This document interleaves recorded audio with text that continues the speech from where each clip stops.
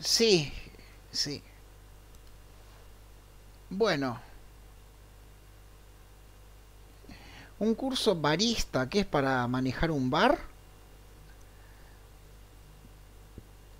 Sí, muy, muy forzado, sí. Ah, mira vos.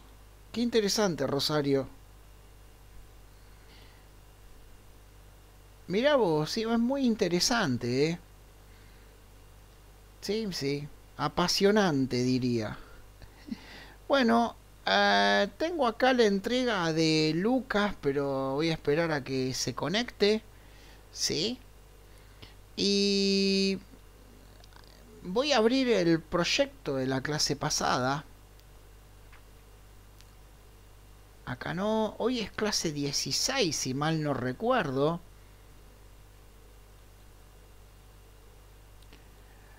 No, clase 18. Ah, ah, perdón, sí, sí. Falta imagen, ¿no?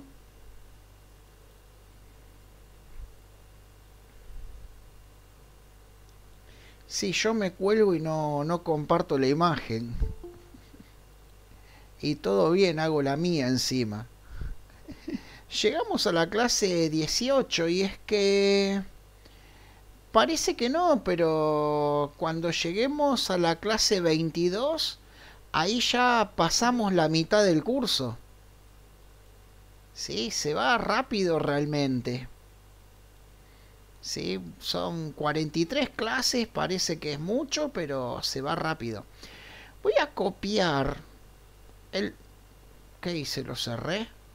Bueno. Lo quería copiar. Voy a copiar el proyecto como clase 18. Copy clase 18 y vamos a empezar a trabajar el tema de la base de datos. ¿Sí?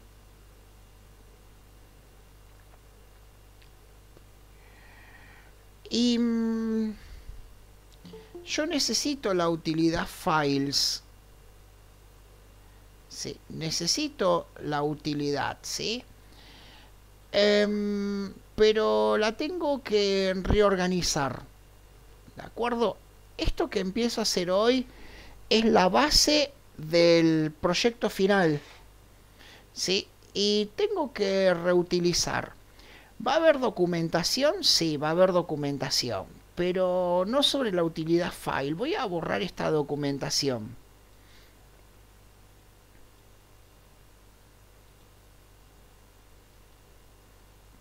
Sí. ¿Va a haber una Wii? ¿Una Graphic User Interface? Sí, va a haber una Wii. Exacto. Pero no va a ser esta, va a ser otra. Dejo el paquete Wii.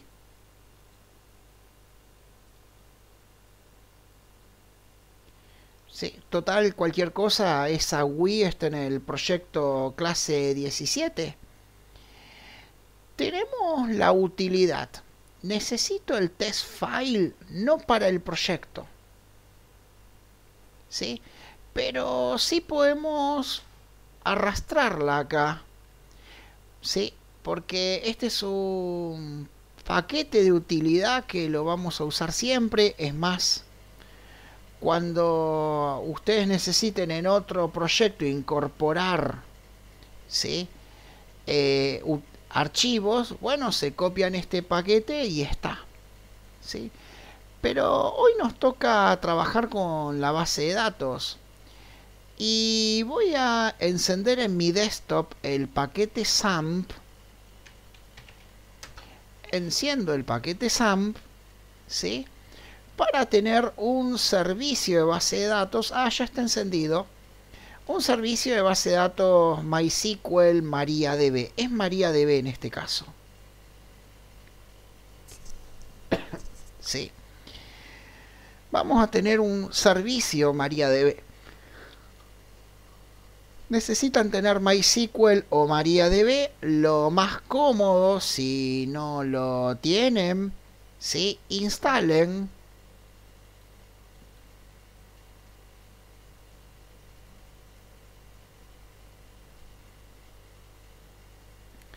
instalen, si no lo tienen, ¿sí?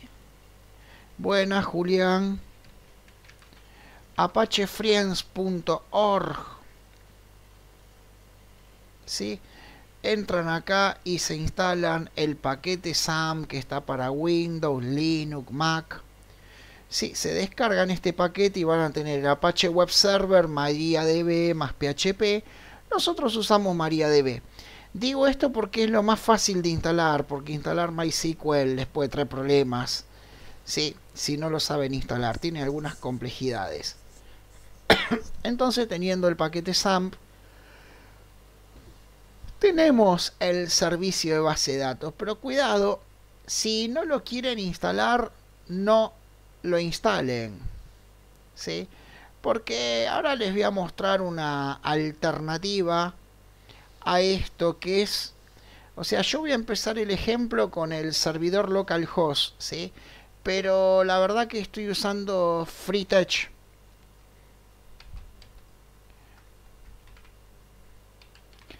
FreeTouch o cualquier otro. Si yo pongo Remove MySQL o MySQL, voy a poner... aparece un servidor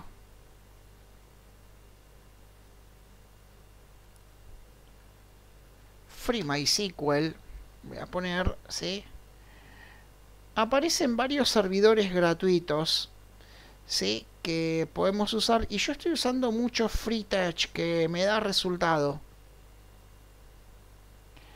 ¿Qué pasa? Es un servidor, ¿sí? Gratuito, online, en donde yo puedo colgar la base de datos acá y podemos hacer que todos los sistemas que hacemos apunten a esta base de datos y listo, no, no hay ningún inconveniente. Obvio que esto es para estudiar, no lo usen para producción a estos servicios gratuitos porque es muy lento y porque en cualquier momento se puede borrar la base de datos. ¿Mm? ¿Sí? Pero bueno, es una alternativa. Incluso para los que están un poco más experimentados en base de datos, eh, hay una opción Elephant SQL me encanta porque es lo mismo pero con PostgreSQL. Hola Miguel. Sí. Decía, esto es exactamente lo mismo pero con PostgreSQL.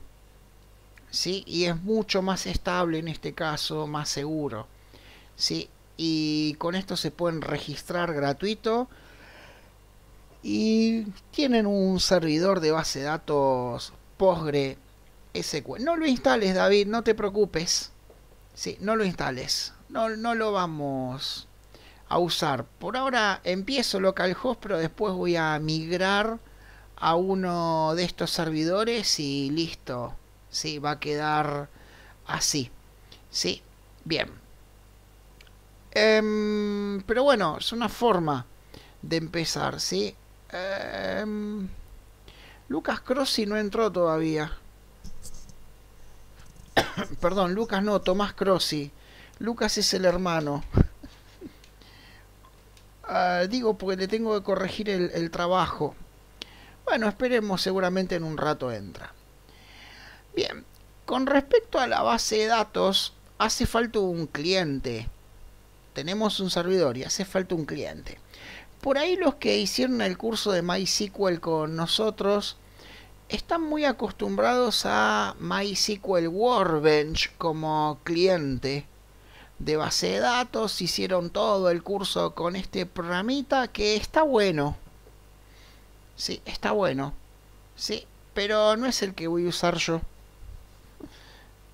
Sí, sí, está. Yo normalmente enseño este.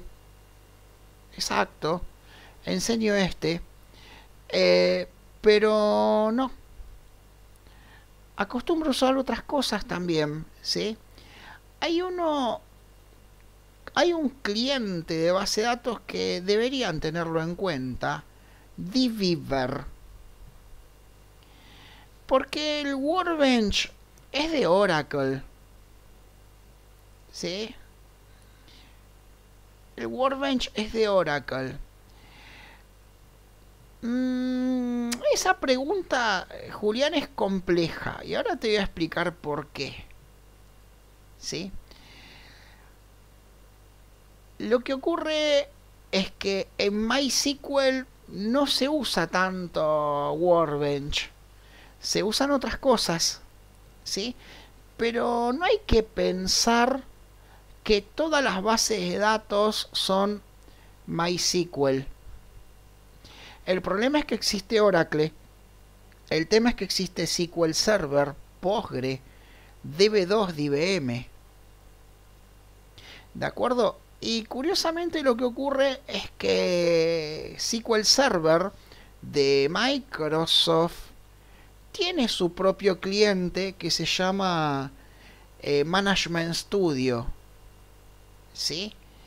Y Oracle también tiene un propio cliente que me olvidé el nombre en este momento. Sí, eh, pero tenía un tiene un nombre, me lo olvidé. ¿De acuerdo? Entonces, claro, el tema es que cada base de datos tiene un cliente más común. ¿Sí? Eh, y sí, partí de la 17, pero modifiqué cosas. Vacié los paquetes y me quedé con files. ¿sí? Bueno, y por ahí, cuando hablamos de un cliente que sea multi base de datos, cuando hablamos de un cliente que sea multi base de datos, son muy famosas las herramientas TOAT. Sí. Hola Tomás, ahora vemos tu trabajo. Buenas tardes o buenas noches. Decía, cuando hablamos de un cliente que sirva para todas las bases de datos, empieza a ser muy, este, muy conocido las herramientas TOAT. ¿Sí? TOAT es un cliente que puede trabajar en todas las bases de datos. Es muy famoso en ese sentido. ¿De acuerdo? Eh, funciona en Oracle, ¿sí? Este, en ciencia de datos, ¿sí? Edge, IBM, SQL Server, SAP, ahí funciona para todas las bases de datos. TOAT. Pero TOAT tiene un problema. El problema es que es privativo, es pago. A lo sumo se pueden descargar una versión que dura 30 días, pero es pago. ¿Sí? Entonces, dbeaver es un equivalente. dbeaver IO. ¿Sí? Es un equivalente y es totalmente libre. dbeaver es este que tengo acá, perfecto. Es este que tengo acá y funciona con cualquier base de datos, se conecta a cualquier cosa. Yo puedo elegir MariaDB, Postgre, MySQL, ¿sí? Oracle, SQL Server, SQLite, exacto, exacto, y se conecta a cualquier cosa. Derby, Derby es una base de datos que trae Java, pero que funciona en memoria RAM, no en disco duro. Entonces, claro, cuando cerramos la base se borró todo. Pero está buena para hacer testing porque funciona muy rápido, porque funciona en memoria. ¿Sí? Entonces, está bueno este cliente, está bueno tenerlo en cuenta. Sí, lo pueden hacer en Workbench, no hay ningún problema de todos modos, yo no voy a usar ni Workbench ni dbeaver. ¿Sí? Ahí está el tema. No voy a usar nada de eso. Hay un solo problema que le veo a dbeaver. Y el problema es que tarda mucho en arrancar. Pero no es que mi máquina es lenta. En otras máquinas rápidas tarda mucho en arrancar. Esa es la única contra, pero es totalmente libre y funciona con un montón de bases de datos. Sí, eso es lo que tiene de bueno. Bien. tiene un Cloud Beaver, no sabía. no sé cómo será, después lo voy a probar. Ahora, ¿sí? ¿Cuál voy a usar? Se van a preguntar. ¿Qué cliente voy a usar? ¿Sí? Bueno, ni Workbench ni dbeaver. Voy a usar el NetBeans. El NetBeans puede ser cliente de base de datos. ¿Sí? Y cliente de cualquier base de datos. ¿Sí? NetBeans puede ser cliente de Oracle, de Postgre, de SQL Server, de MongoDB, de lo que fuera. ¿Sí? Eso es lo que tiene de bueno. ¿Sí? Y mm, no digo que es el mejor cliente, yo digo que puede ser cliente de cualquier base de datos. ¿Sí? A mí me parece mejor usar dbeaver o MySQL Workbench. Pero ¿por qué me quedo con NetBeans? Porque yo quiero que la base de datos, la documentación del proyecto, todo esté acá. Si yo no quiero tener por un lado, ¿sí? el, el código de la base de datos, por el otro lado la documentación, por el otro lado, ¿sí? el código del proyecto. No, yo quiero todo en uno. Entonces a mí me gusta esta idea porque uso un solo programa para todo y yo subo después un solo proyecto y está todo. Está la base de datos, la documentación, todo. Por esa razón me gusta esta idea de usar Workbench. ¿Sí? Em, otros IDEs no permiten hacer esto. ¿Sí? Eh, por esa razón sigo mucho con NetBeans, ¿sí? ¿De acuerdo? O sea, otros IDEs no les va a dejar hacer esto. O corrección. En el caso de Eclipse y de mm, Spring Tool Suite, tienen la posibilidad de instalar un plugin que lo que hace es incrustar dbeaver. O sea, acá dentro del IDE empiezan a abrir dbeaver. Tienen esa posibilidad, ¿sí? Pero, ¿qué pasa? Es lentísimo. ¿De acuerdo? Ese es el problema. Se vuelve demasiado lento. Entonces, no está tan bueno en ese sentido. ¿De acuerdo? Es, eh, se vuelve ya de por sí Eclipse está haciendo... Sí, está haciendo bastante lento. ¿De acuerdo? Eh, entonces no, no está bueno. Sí, claro. El test file estaba en el paquete test y lo copié. Lo moví acá adentro, David. ¿Ves? Acá lo tengo. Estaba en el paquete test y lo moví. ¿Sí? Bueno, no, no está bueno hacer ese tipo de cosas. De incrustar un programa dentro del IDE. Pero bueno, Eclipse y Spring Tool Suite lo permite, pero no me gustó la solución realmente. Pudiendo ser el IDE perfectamente cliente, ¿sí? Es un temita que hay. Y... ¿Cómo hago? Voy a cerrar Workbench, ¿sí? y voy a crear un nuevo paquete ¿sí? new java package ¿sí? y va a ser la ruta de siempre ar or centro 8.curso.java.sql ¿sí? y acá vamos a poner todos los códigos SQL ¿sí? Pero antes quería ya que entró Tomás Sí, queríamos sí, terminar.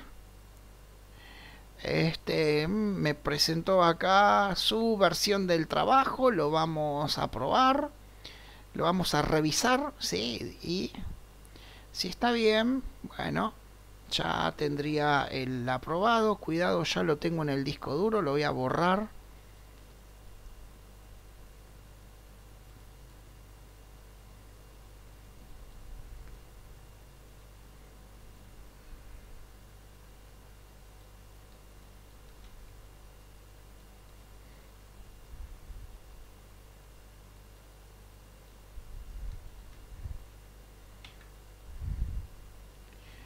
Ahora sí, lo descargo.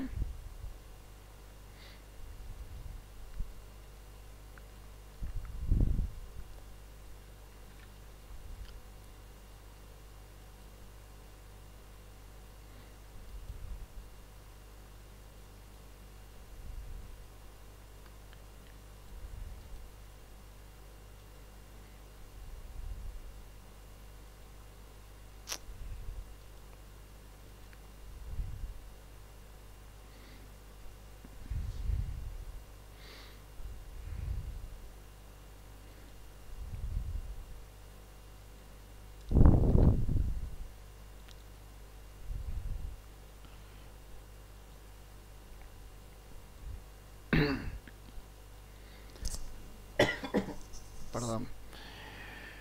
Em,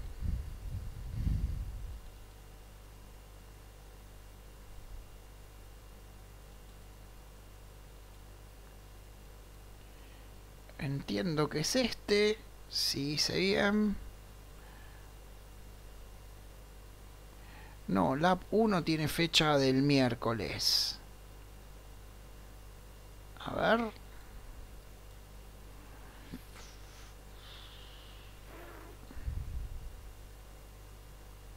Sí, Lab 1, perdón. Ahora se actualizó fecha de hoy. Sí, sí, sí, sí. Claro, estaba hecho con otra versión de Java. Sí, pero con una versión de Java más moderna. Le vamos a decir que retroceda a Java 11.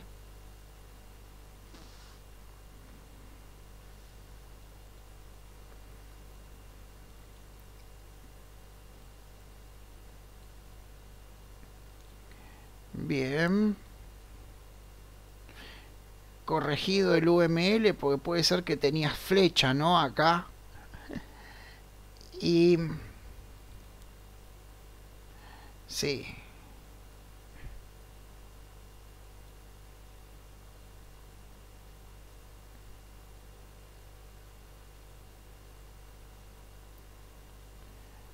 Bien, claro, sí, sí, sí. Claro, habías hecho las clases en plural.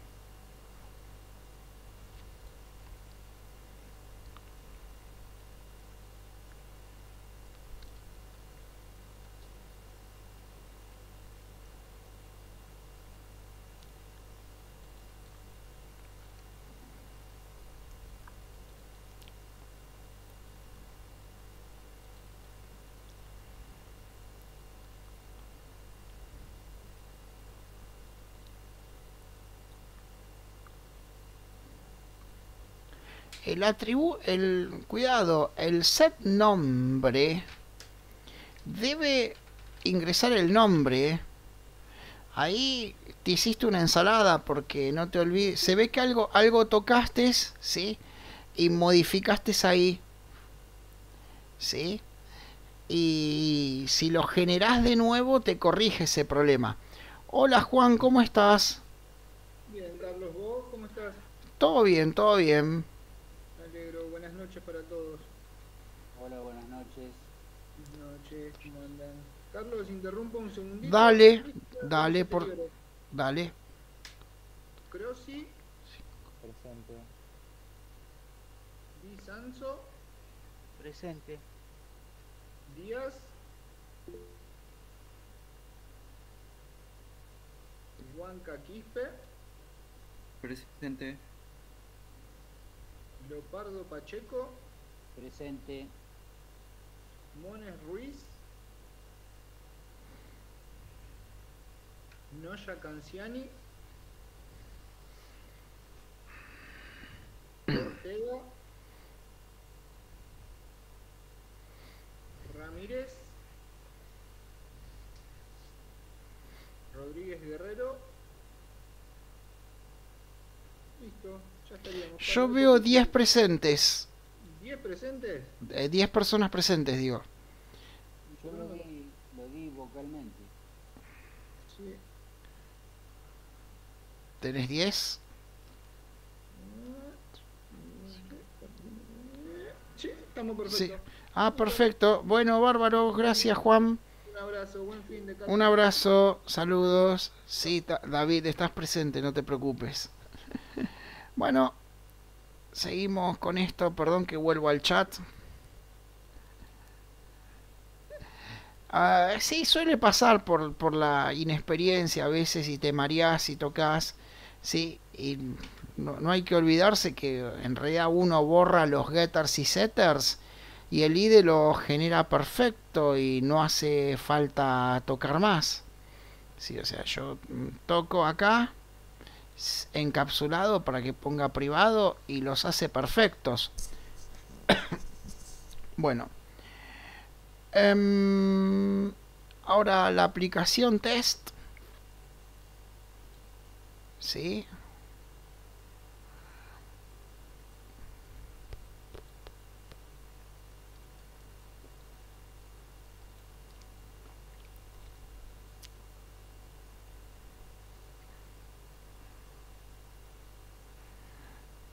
Y a ver cómo ejecuta.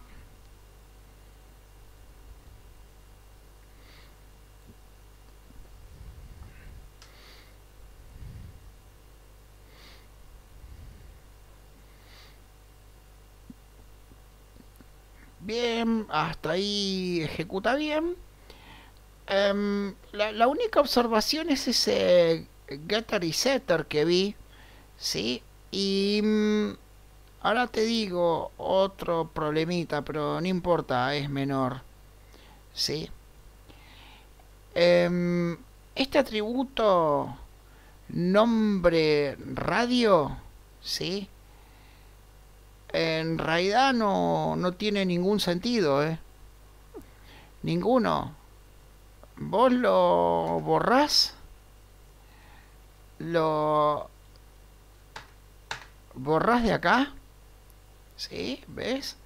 Y yo ejecuto el programa y creo que va a funcionar todo. ¿Sí? No es un atributo el nombre de radio. Creo que funcionó todo sin ningún problema.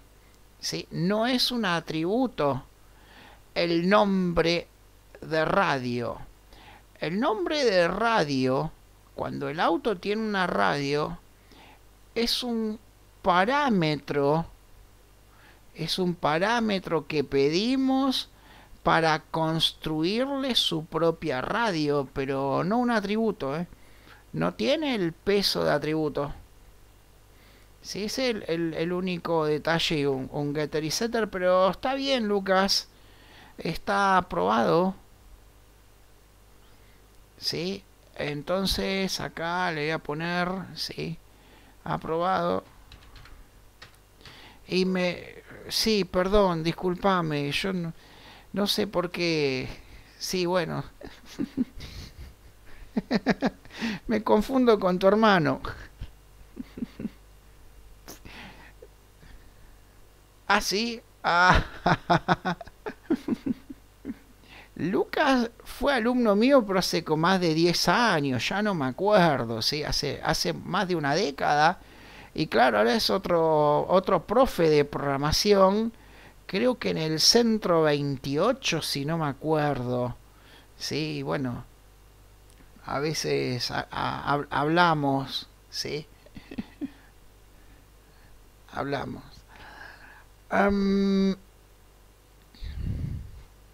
Bien, ahí te cargo Tomás el, el aprobado.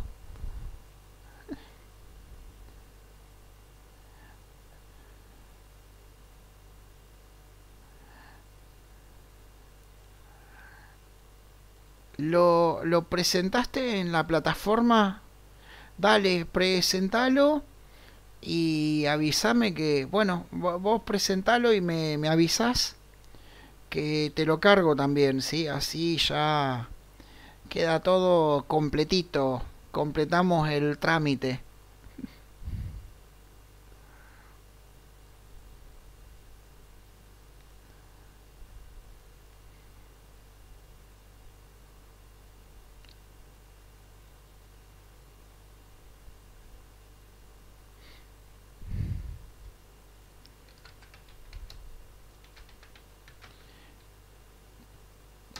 Tomás.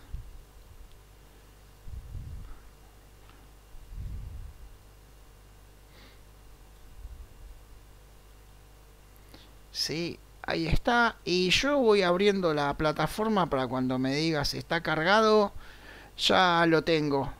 ¿Sí? Bueno. Los que no lo entregaron igual pueden entregarlo aunque pasó la fecha, no se hagan problemas, yo lo voy a corregir igual, ¿eh? No, no tengo inconveniente. Bien. Objetos, ahí cargué la plataforma, ¿sí? Así que cuando Tomás me diga lo, lo corrijo. Bien. Em, bueno, decía, creé el paquete SQL. Y acá voy a abrir un SQL. New. ¿Sí? SQL File. Si subís el link de GitHub, nada más. Ven que yo digo New SQL File. Si no tienen SQL File a mano, van a Other. ¿Sí? Other. Y luego de eso, Other. ¿No? Other. Y eligen SQL File. Siguiente. Y nombre del, SQL le voy a poner DDL. DDL-base. Colegio. Vamos a hacer un sistema de un colegio. Va a tener dos tablas.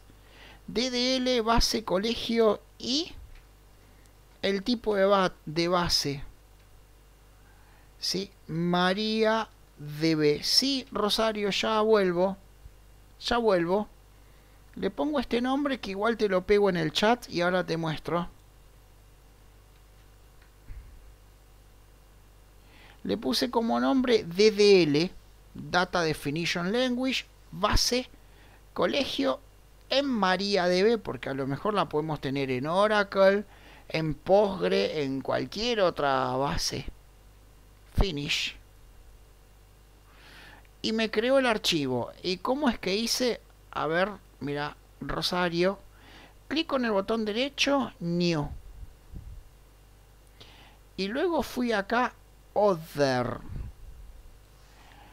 Y luego, ¿sí? Y luego other. Y el primero es SQL file. ¿Sí? Y ahí siguiente y le pones nombre. ¿Sí? ¿Sí? ¿Vos qué base de datos tenés? ¿MySQL o, o MariaDB? ¿Tenés el paquete SAMP? ¿O tenés MySQL instalado? MySQL, bueno, ponerle MySQL. Hay que tener en cuenta que, sí, no, claro, si tenés el SAMP y usás la base del paquete SAMP, es MariaDB en realidad, ¿eh? Aunque el botón diga MySQL, ¿de acuerdo? O sea, si vos la base la encendés desde el paquete SAM, yo lo tengo para Linux, ¿sí? ¿Sí? Si vos la base la encendés desde acá. Sí, aunque acá diga MySQL, vos tenés MariaDB. El paquete SAM originalmente traía MySQL, pero ahora sí vemos que sí trae MariaDB, pero sigue diciendo ahí MySQL. por más que uses Workbench, si vos encendés la base de datos desde ahí, es MariaDB. Lo que ocurre es que vos, ¿sí? Puedes usar MySQL o MariaDB y usar el driver de MariaDB sobre MySQL y el de MySQL sobre MariaDB y sobre Workbench te puedes conectar a cualquiera de las dos porque son clon, una es una copia de la otra. ¿De acuerdo? Entonces es lo mismo. Más o menos la historia es así. MySQL se creó a principios de los años 90 como una base de datos libre para reemplazar a DBase y que sea un servidor de base de datos libres. porque estaba Oracle, IBM, SQL Server y eran todas pagas. Entonces se creó MySQL libre. ¿Sí? Después de un tiempo la compró Sun Microsystem porque necesitaba una base de datos. Sun Microsystem era una empresa que era dueña de Java, del sistema operativo Solaris, de Star Office, que era el sucesor, es el antecesor del LibreOffice, sí, un Office libre, ¿no? Y tenía varios, eh, VirtualBox tenía, sí, tenía varios productos, ¿sí? Sun Microsystem era una empresa que estaba en condiciones de competir con Microsoft porque tenía sistema operativo, sistema de oficina. Solaris era un, era un caño realmente como sistema operativo, era muy bueno, tenía la base de datos. Sí, tenía, tenía todo. Sí.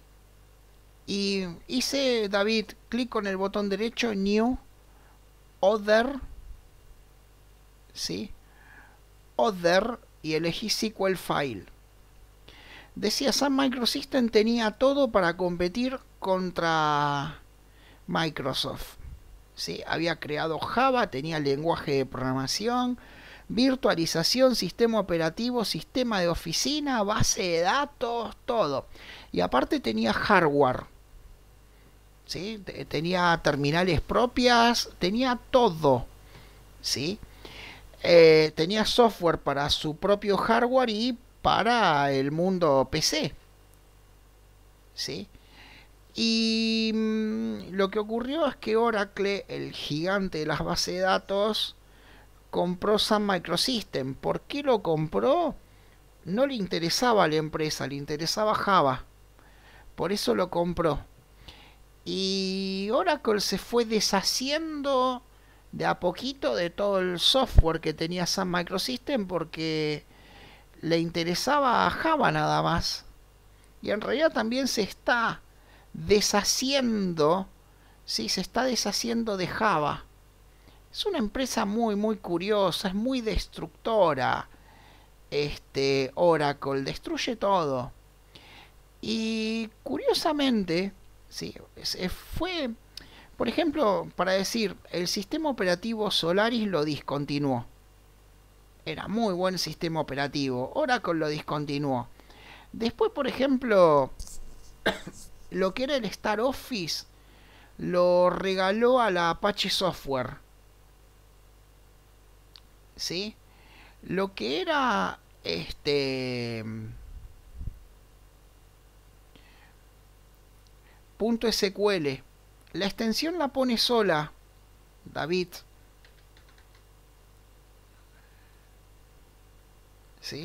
Lo que era el hardware lo discontinuó. ¿De acuerdo?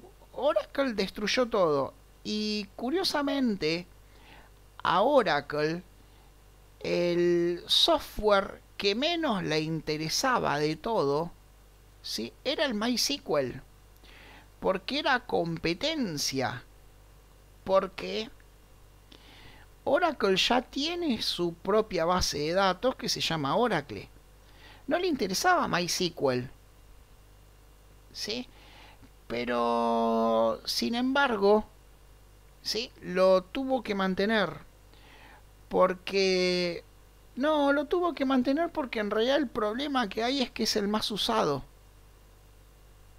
¿De acuerdo? O sea, el tema que tenemos con MySQL que lo usa Google, lo usa Facebook, lo usa Amazon, lo usa YouTube, OLX, Mercado Libre, eBay, todas las principales empresas usan MySQL, la base de datos más usada. Entonces lo mantiene, pero así de pocas ganas. ¿Sí? El primer creador de MySQL antes de que lo compre Sun Microsystem, como ve, ¿sí? Como ve esta acción, ¿sí? De desinterés de Oracle por MySQL, ¿sí? lo que hizo fue clonar MariaDB, porque software libre lo puede hacer, ¿sí? porque prevé que mañana Oracle lo puede volver, lo puede volver privativo. El dueño de un software libre tiene la libertad de volver privativo su software. ¿eh? Cuidado. O sea, Oracle está en su derecho a hacer que MySQL mañana sea privativo. Pero cuidado, lo que dicen las leyes de software libre es que si mañana es privativo, lo hecho hasta hoy es libre. ¿Sí? Entonces, cualquiera puede tomar la copia de hoy y seguir trabajando con ese código, no hay ningún problema. Entonces, claro, previendo de el, el, creador original de MySQL, previendo de que mañana puede ser privativo, lo que hizo fue copiar el código y continuar con esa copia como MariaDB. Pero son dos clones exactos, no van a tener problemas en ese sentido. ¿Sí? Y bueno, no sé qué, de qué trata eso, David, Creative Commons. Normalmente trabajan bajo licencia GLP, GPL. Claro, para software libre está GLP. Así que son el, cronograma de licencia que da GNU. No sé qué qué dice Creative. ¿Sí? No, no, no la vi nunca. Sí, pero para software libre GPL, que lo da GNU. Bueno, los fanáticos de Workbench en realidad pueden seguir usando Workbench. Si alguien quiere usar Workbench y no le gusta esto, ¿sí? Se puede hacer. Ah, bien, sí, puede ser. Puede ser. Lo que ocurre es que hay que ver cuánta gente quiere usar esa licencia. ¿Sí? Bueno.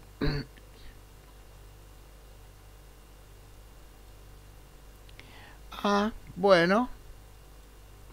Voy a revisarlo un poco más.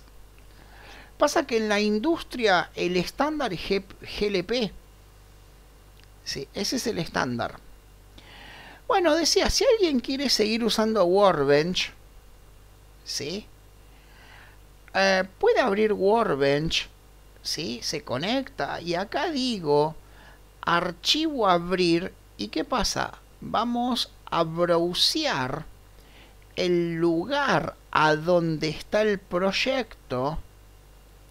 Entramos al código fuente y abrimos el SQL de acá. y pueden trabajar desde Workbench sin ningún problema y luego guardan ¿sí? y están guardando adentro del proyecto esa es una posibilidad si ustedes no se llevan bien con este programa bueno pueden seguir usando ¿sí? Workbench o lo que quieran pero la base tiene que estar acá adentro ¿sí? Porque cuando me entreguen el trabajo final, yo tengo que ver y ejecutar la base. ¿De acuerdo? Tengo que ver y probar la base de datos. ¿De acuerdo? No, no me la pueden ocultar. No puede ser que no tenga yo acceso a la base de datos para revisar qué es lo que tienen. DAO es Data Access Object. Espérame dos clases que lo vamos a estar haciendo. Dos clases o una clase más o menos, ¿sí? Es eh, patrón de acceso a datos. Bien. Ahora, voy a empezar como localhost. ¿Sí? Voy a empezar como localhost, o sea, voy a empezar a trabajar en la base de datos local y después vamos a trabajar sobre un servidor remoto ¿sí? para ver las diferencias. Yo en NetBeans elijo acá sobre qué conexión quiero trabajar. Tengo configuradas varias conexiones y elijo localhost porque voy a trabajar en el servidor local. Teniendo un servidor local. Claro, muy bien Rosario. El tema es que ustedes no tienen ninguna. Porque ustedes es la primera vez que usan NetBeans para conectarse a una base de datos. Entonces, lo que voy a explicar, lo que voy a explicar es cómo hacer que NetBeans ¿sí? tenga acá la conexión. Lo primero que necesito es el driver. ¿Sí? El driver. Para descargar drivers, nada mejor que Maven Repository. Maven Repository. Aunque no usen Maven porque no lo estamos usando, ¿sí? Todavía no estamos usando Maven. Después lo vamos a usar con Ibernet. ¿Sí? aunque no usen, ¿sí? Este Maven está bueno para descargar cualquier driver. Porque acá están todos los drivers del mundo y están bien organizados. Entonces, entro a Maven Repository, esta es la URL. Y puedo usar el driver de MySQL o MariaDB. Yo les recomiendo MariaDB. ¿Por qué? Porque ocupa menos espacio. ¿Sí? Yo pongo MariaDB y entro acá al primero, MariaDB Client, actualizado el 3 de mayo del 2021. ¿Sí? Ahí está. Entro. Y ven que aparecen todos los drivers bien organizados, fecha por fecha. Si yo pongo MySQL, search, me dice MySQL Connector J, entro y tiene también todas las liberaciones del driver MySQL. Pero el driver de MySQL pesa como 5 megas y el de MariaDB pesa 1. Sí. La última versión del driver de MySQL fue la 8 liberada en abril 2021. Pero ocupa menos espacio MariaDB, por eso yo voy a usar este, pero pueden usar cualquiera. Sí. Cuidado, la última versión mayo 2021 que pasa es alfa. Cuando dice alfa, beta, M, RC, DMR, cualquiera de esas siglas, significa que no es una versión terminada, es una versión a prueba. Y no resulta seguro usarla. Por esa razón me voy a quedar con la 272 porque puedo tener problemas. ¿Sí? Yo siempre uso todo lo estable. La 272 es de enero del 2021. Ven que hay mucha información y toda organizada. Entro a la 272. ¿Sí? Y si bien todavía no uso Maven, porque si yo, si yo uso Maven no necesito ni siquiera descargar el driver. ¿sí? Simplemente coloco esta dependencia en el archivo de configuración de Maven y ya está. Si bien yo todavía no uso Maven, ¿sí? lo que puedo hacer acá es descargarlo. Esto es mejor que ir a buscar los drivers al fabricante del driver. ¿sí? Me lo voy a descargar de acá. Me lo descargo y lo tengo en la carpeta de descargas. Un consejo. Un consejo. Sí. A ver, me lo descargué. Acá está.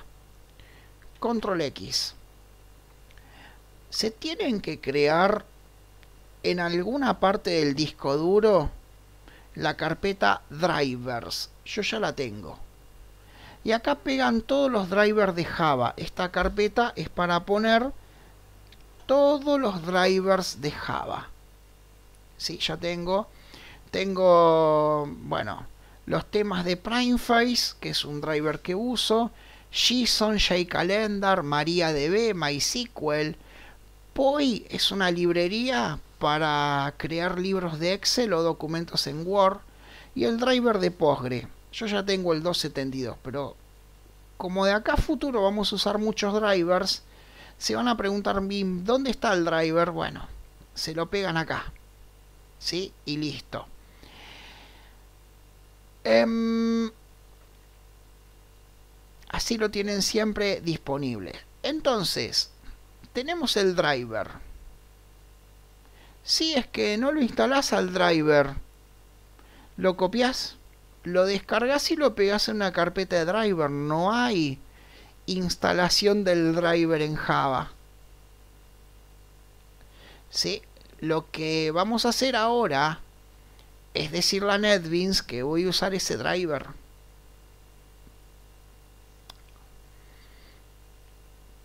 Podría ser como plugin, ¿sí?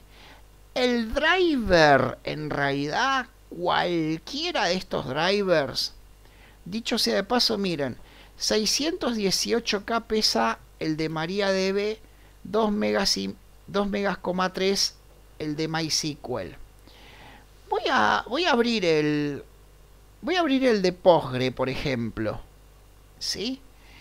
El driver en realidad no es un driver como el del sistema operativo, ni tampoco es un plugin. Es un conjunto de paquetes en Java. ¿Ven que es un archivo .jar?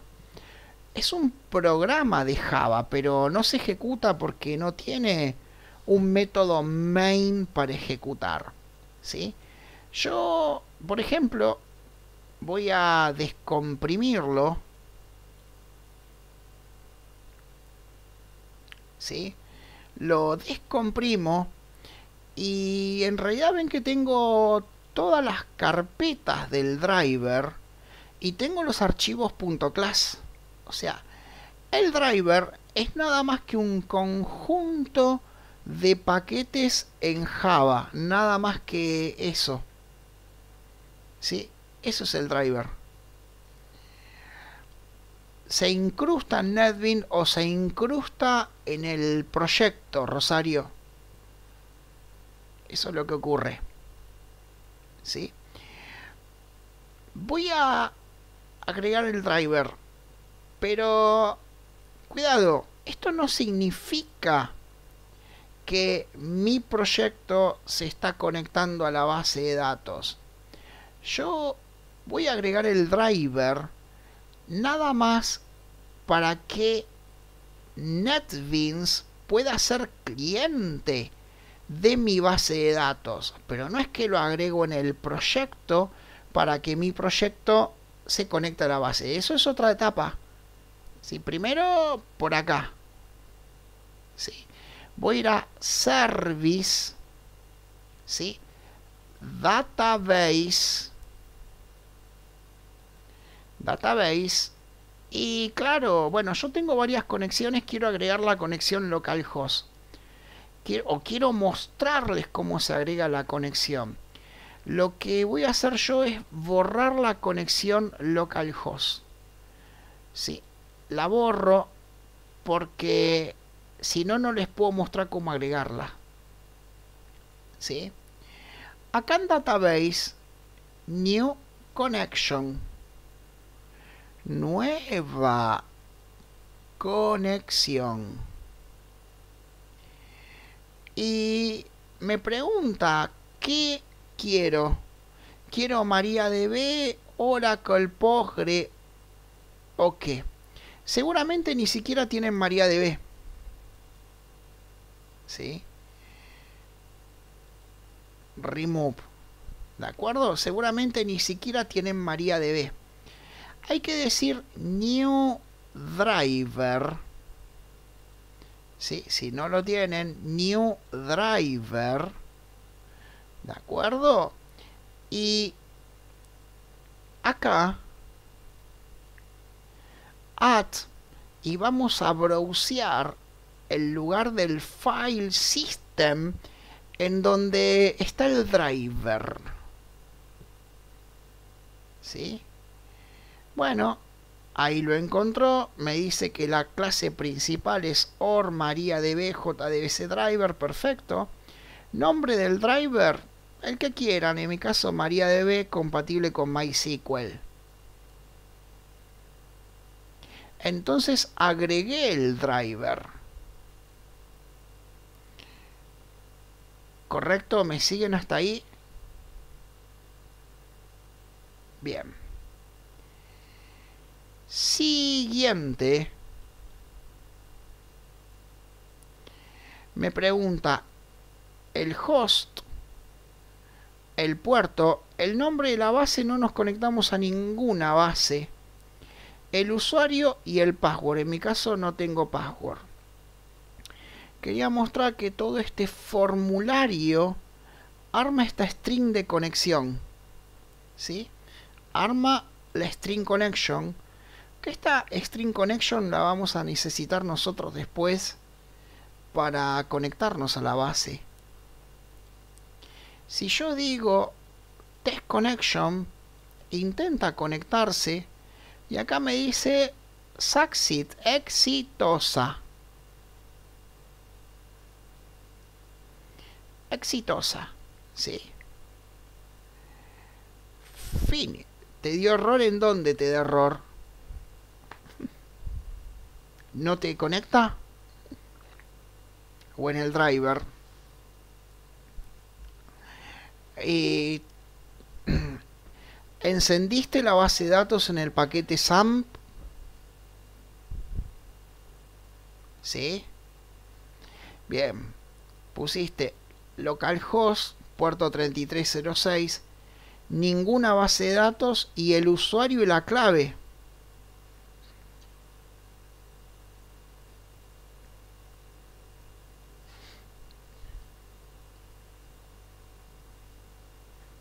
Bueno, sí, acomoden. Bien, y te da error. Si vos abrís Workbench, ¿Workbench se conecta?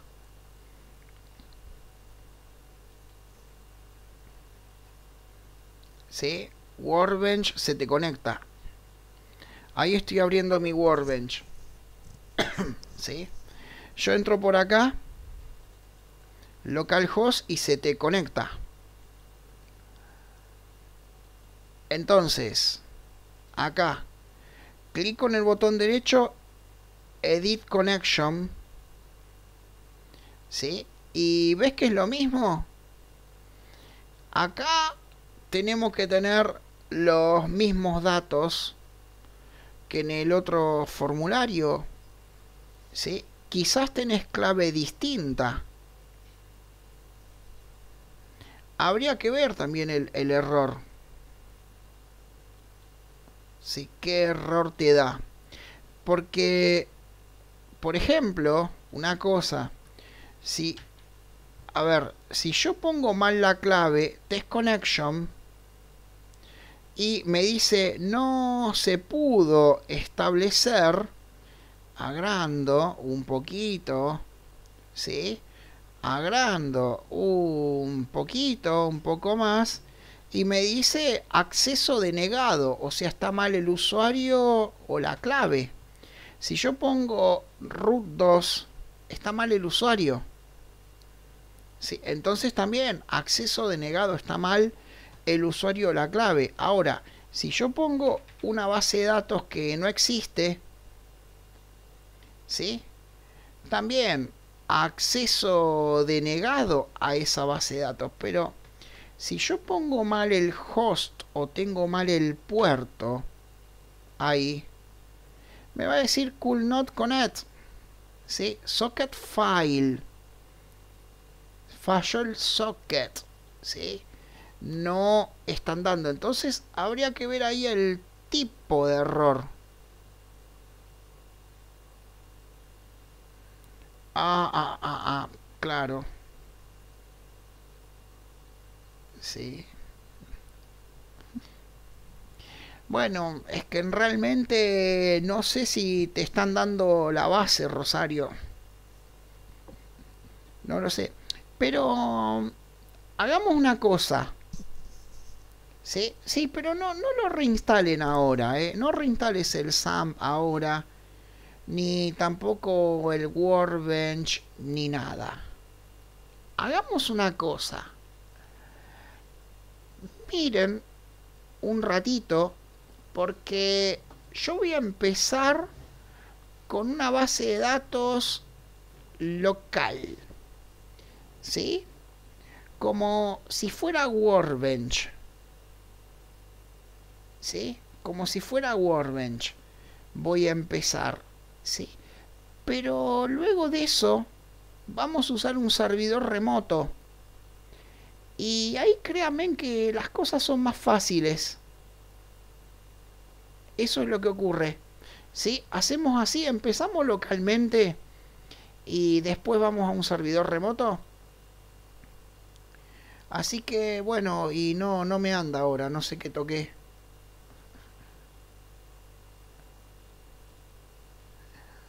Uh, localhost. Sí. Y ahora sí que la rompí. ¿Qué hice? Access.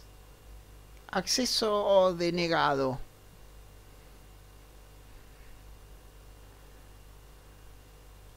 Sí, por eso esperen un ratito. Sí, y lo rompí. Estaba andando. Rompí el mío.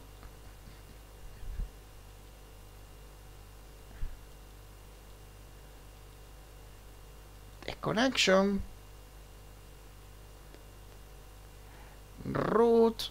Password. Localhost 3306. ¿Sí? ¿Este se conecta? Sí, se conecta. ¿Sí? Y por ejemplo, quiero ejecutar show databases, ¿sí?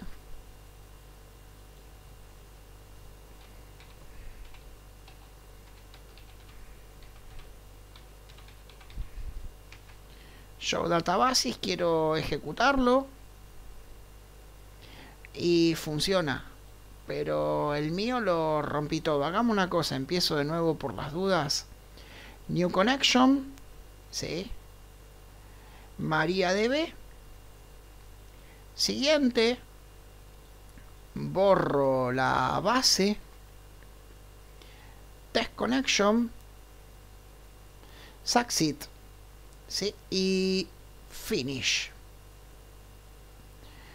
Entonces, tengo acá para escribir en mi base de datos local. ¿Sí?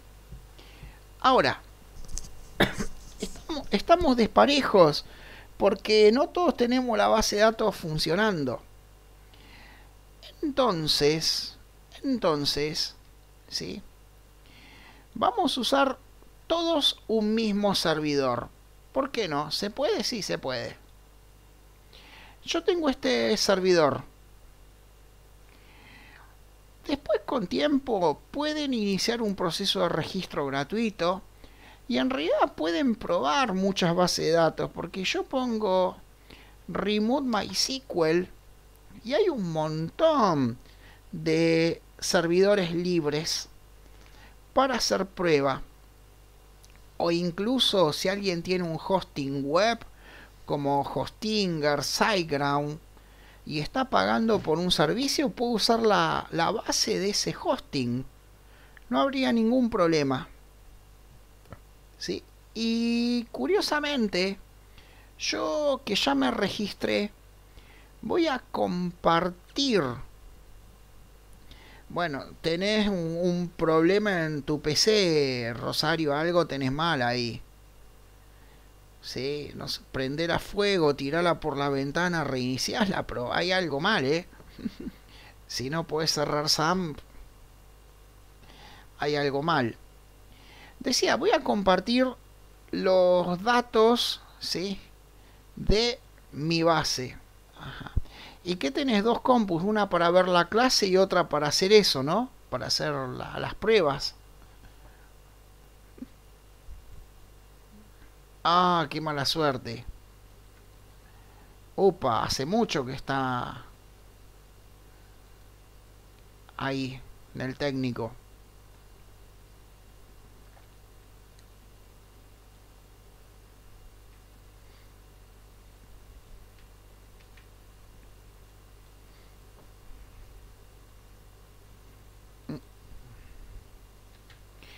Sí, está todo caro para arreglar y resolver la... Lo, ¿Por qué está entubada? Suele pasar. Lo, lo que pasa es que a veces hay equipos que entran en una situación que no tiene sentido repararlos. Y uno se queda meditando porque voy a gastar un montón de plata. ¿Sí? Y, ya es vieja la máquina y no tiene sentido arreglarla. Pasa, pasa. Sí, suele pasar. Ustedes piensen que la notebook que yo necesito para dar las capacitaciones cuesta 200 mil pesos o más. ¿Sí? Para poder mantener la videoconferencia, grabar, abrir los programas. No se olviden que todavía falta abrir los servidores de Java Enterprise. ¿Sí? Y bueno, es una máquina que cuesta una, una plata.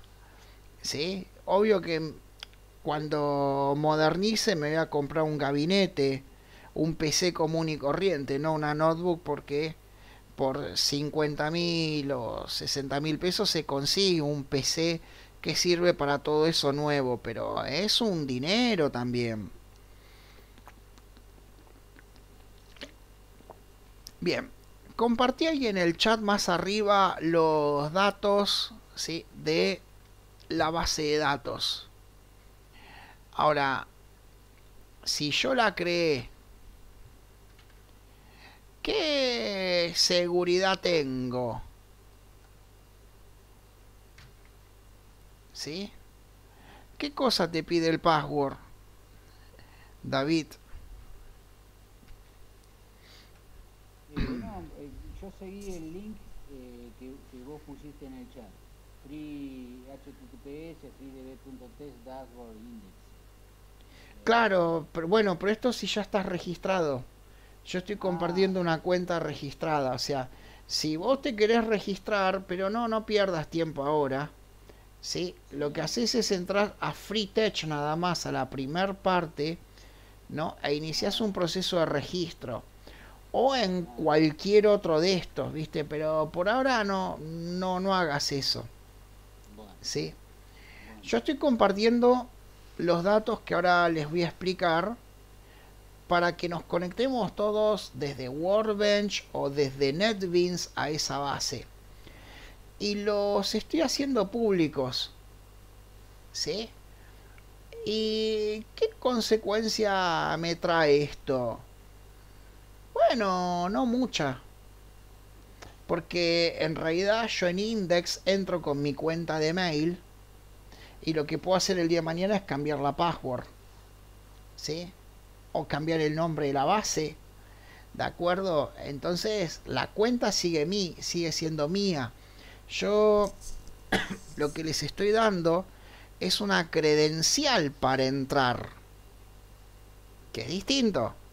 ¿De acuerdo? Pero se puede restringir la seguridad sobre eso. Y mm, así como creé esta conexión localhost, se puede crear la conexión a la base de datos, que yo ya la tengo, pero claro, les voy a mostrar cómo crearla. Sí, delete. Sí.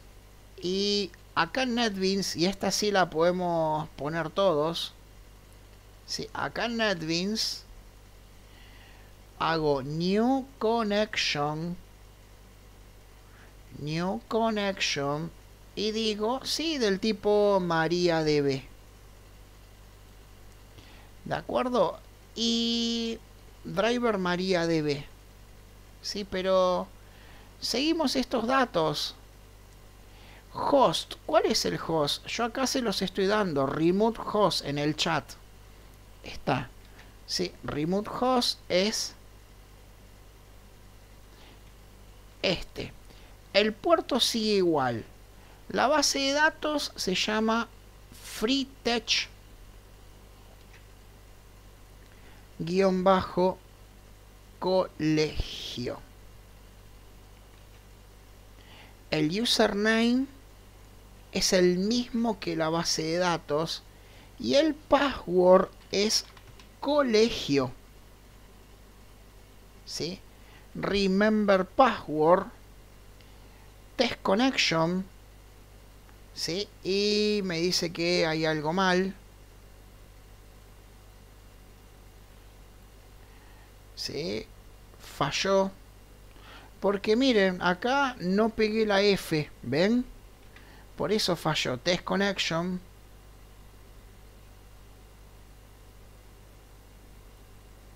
¿Sí? Test connection. Y me dice succeed. Exitoso. ¿De acuerdo? ¿Probamos? Sí. Pero pegué los datos en el chat. ¿Qué? Sí. ¿Qué cosa no te deja, Rosario?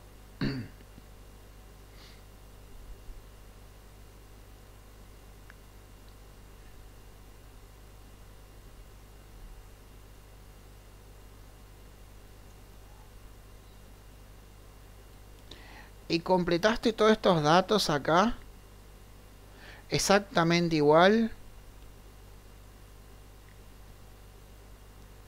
¿Sí? No hay nada que esté cambiado.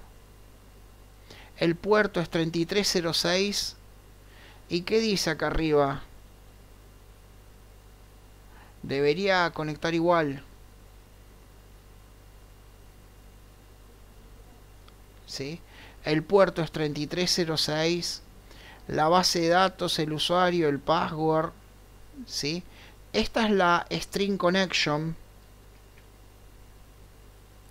La string connection quedó así.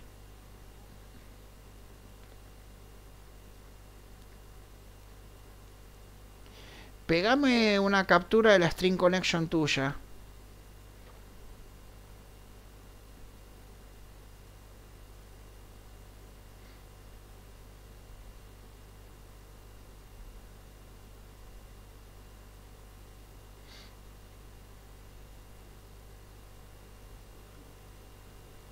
Bueno, eh, borra el último parámetro.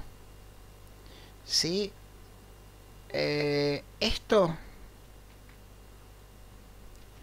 Borralo del string connection y proba.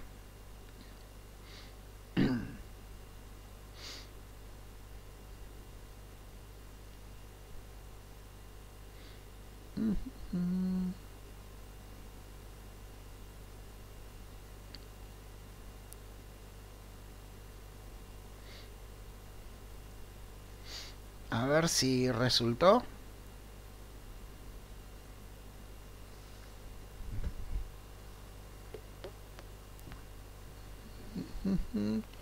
Está ahí luchando Rosario.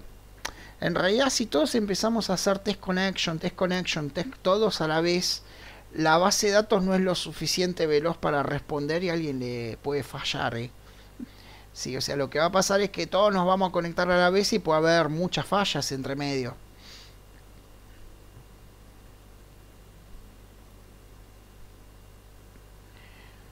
Y Rosario, no. Mm.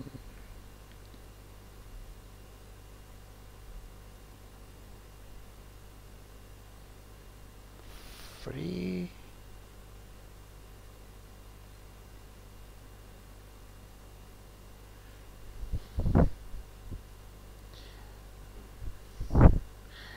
Em, ¿Vos tenés el driver de MySQL o de MariaDB?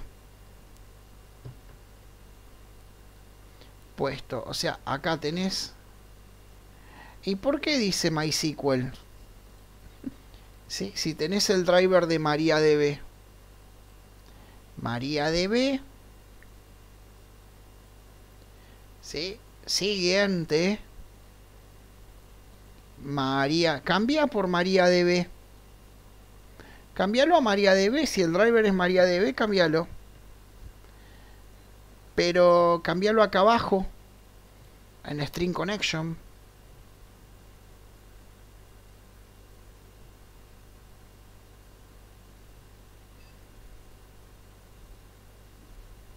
Para, para, déjame leer. Socket file. ¿Sí? JDBC. MariaDB remote. ¿Por qué primero está el host?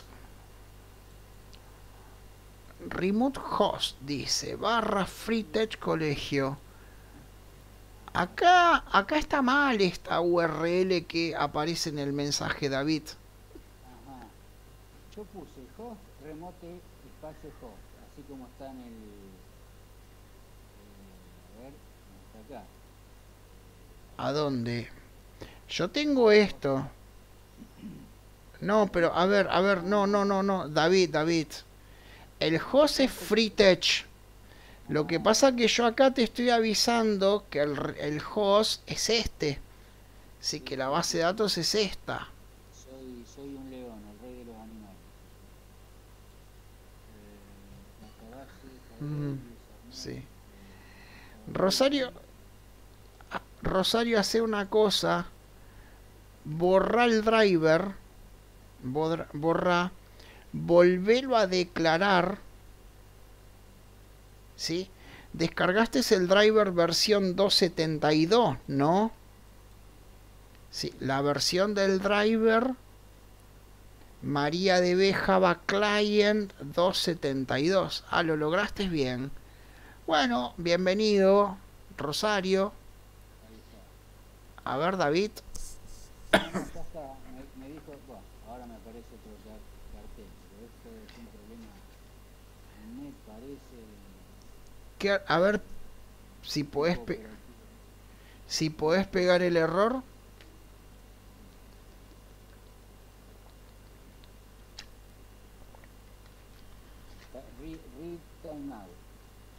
Me parece que es esto.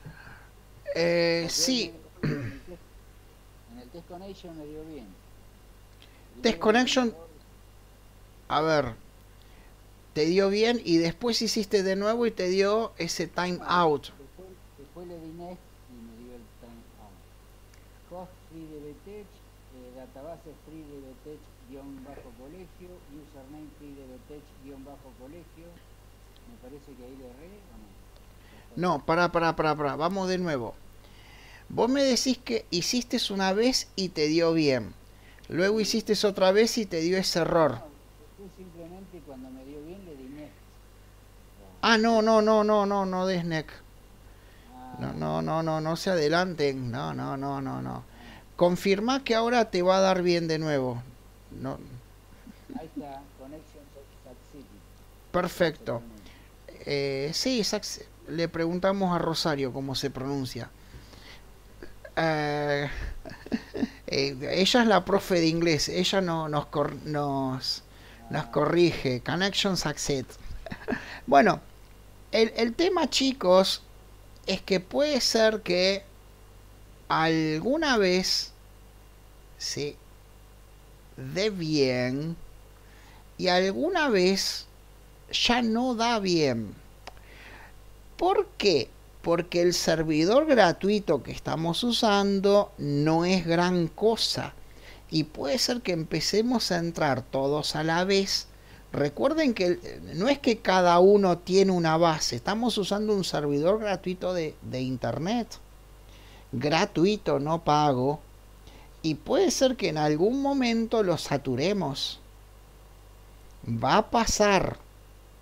¿De acuerdo? Y por eso puede ser que dé un error. No hay que presionar neck, finish.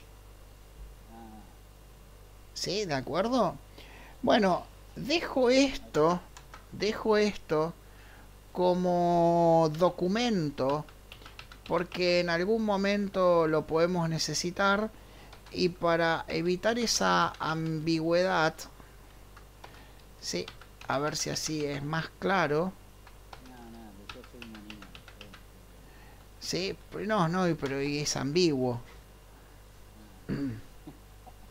Decía, y remote host y FreeDBTech. Lo que pasa que yo he depurado para no. no, para no Sí. el siguiente. Y, y Facundo, ¿por qué en la nube? ¿Qué es lo que te... ¿No sería esto una base de datos gratuita online disponible para todos? No, no entiendo qué le sumaría en la nube. ¿Sí? No, no entiendo qué sumaría. Ahí me mataste, ¿eh? ¿Qué suma en la nube? ¿No es esto gratuito y disponible para todos?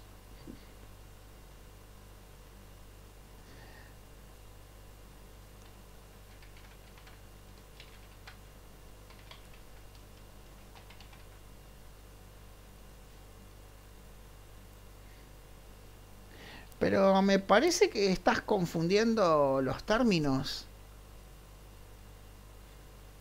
¿Sí? No, no existe el concepto eh, base de datos en la nube. No hablo de gratuito pago. Sí, es obvio que en Amazon Web Service, eh, Google Cloud y la de Microsoft Azure Network son nubes que dan base de datos, pero la dan por fuera de la nube. Sí, o bien, por ejemplo, uno podría usar un documento de Google Drive como base de datos y todos accedemos a la vez. Sí, pero no, no tiene las prestaciones de un SQL.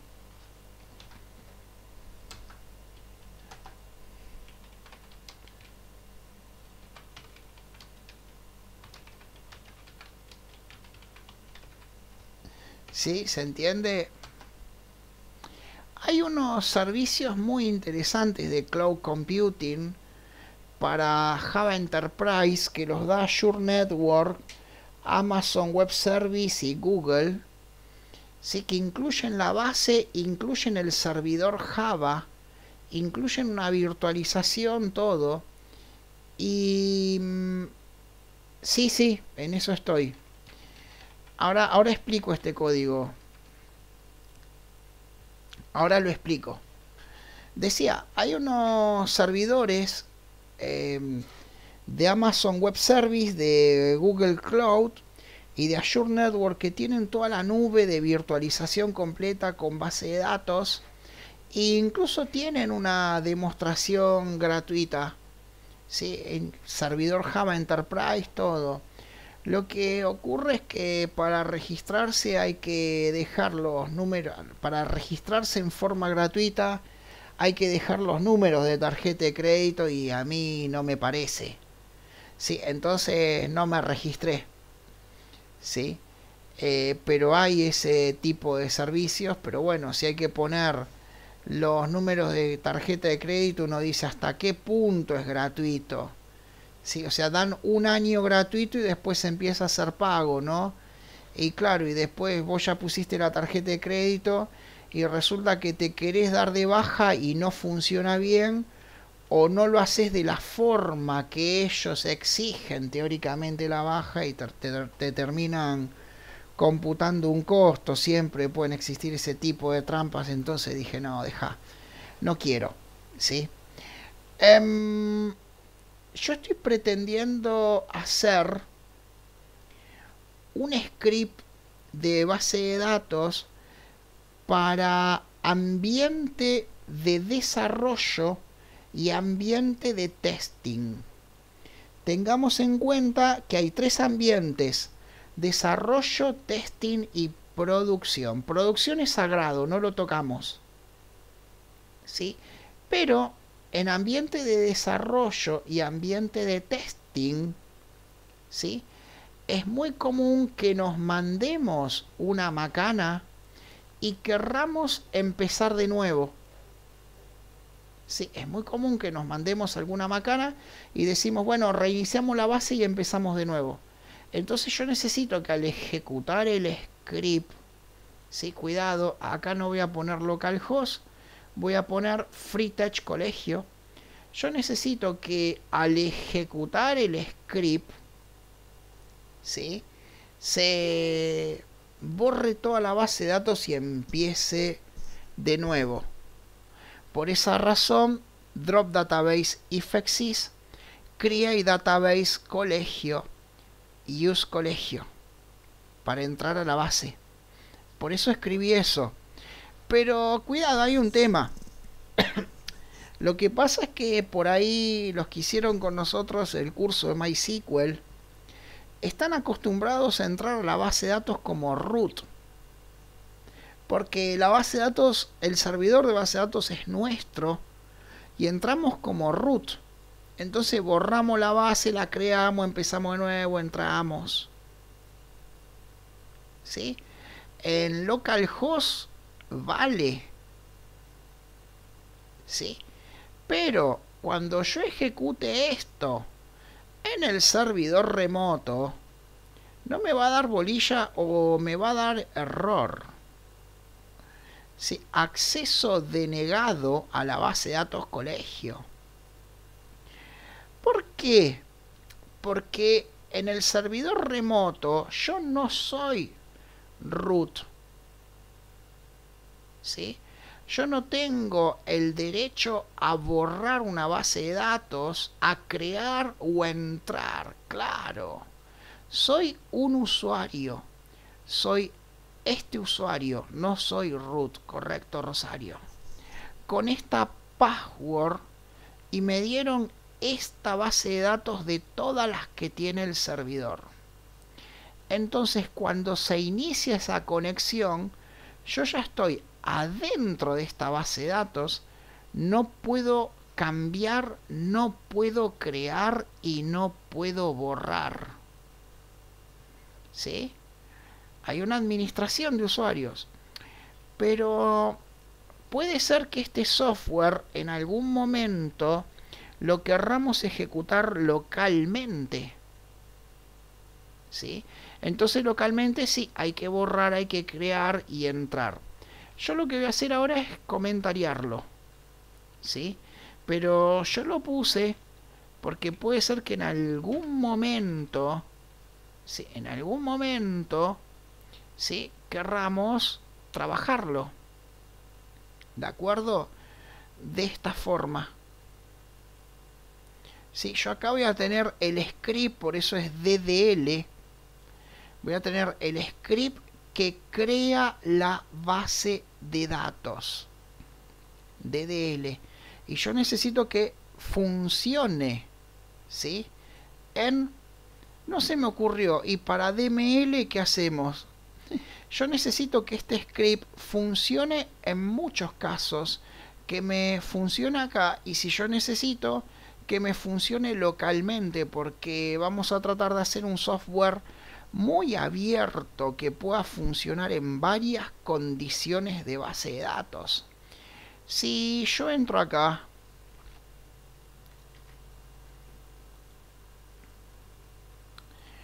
entro a este link, ¿sí? No me acuerdo el usuario y el password, lo tendría que buscar y no lo puedo hacer público, a ver si me acuerdo. podría ser este y el password a ver si me acuerdo.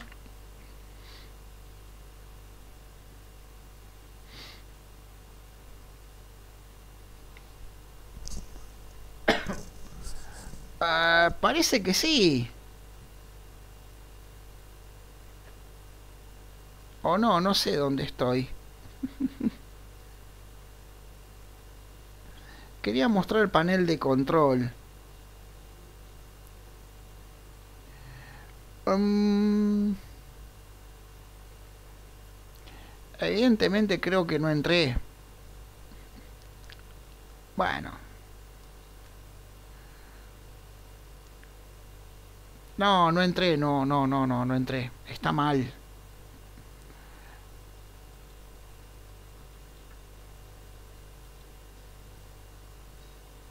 ¿Sí? Pero a ver, ¿cómo lo puedo mostrar? ¿Existe algo? Lo voy a mostrar así.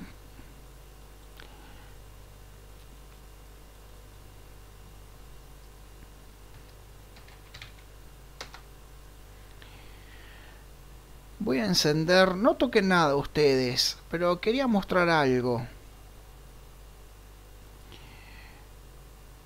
Voy a abrir eso y...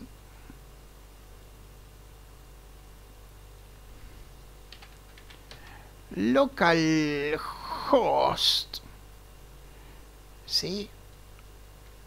localhost barra php my admin.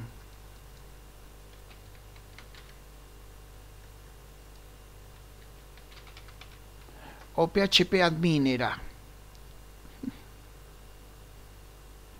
no php my admin ¿sí?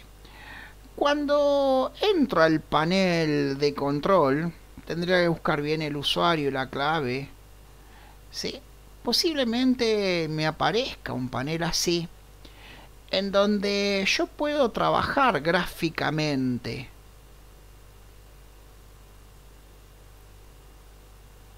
Dale, dale, reiniciar el recreo en un rato, ¿sí? Yo puedo trabajar gráficamente y crear una base nueva nueva base. Eh, nombre de la base de datos le voy a poner X, por ejemplo, crear. ¿Sí? Y acá me dice crear tabla. Y le voy a decir, sí, tabla clientes. Continuar. ¿Sí? Y acá gráficamente yo puedo decir, por ejemplo, campo nombre, ¿sí? Barchar, longitud 20, 30, campo apellido e ir gráficamente creando toda la base de datos. ¿Sí? Igual la voy a borrar. Acá. Mm, quiero